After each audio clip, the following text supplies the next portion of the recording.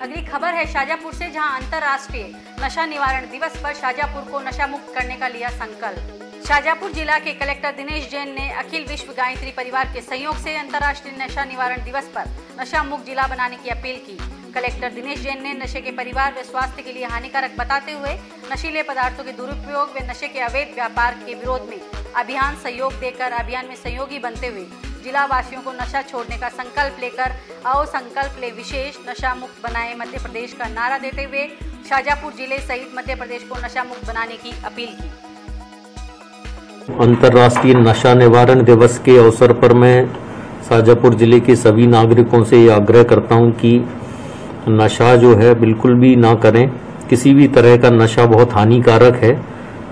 कई तरह के मादक पदार्थों, द्रव्यों का लोग नशा करते हैं और उनका जीवन खराब होता है, उनको स्वास्थ्य संबंधी परेशानियाँ होती हैं, उनकी आर्थिक स्थिति खराब हो जाती है और ये शरीर को बहुत नुकसान पहुंचाती है और समाज का बहुत इसमें लॉस होता है।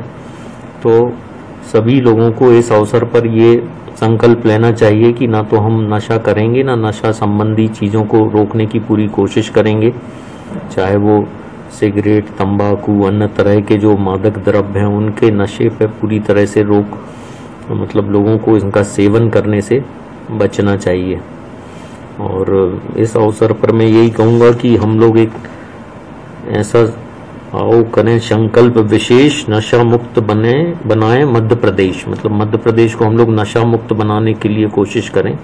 तो सबसे पहले अगर हम अपने ज़िले को करेंगे, तभी हमारा मध्य प्रदेश भी बन पाएगा, नशा मुक्त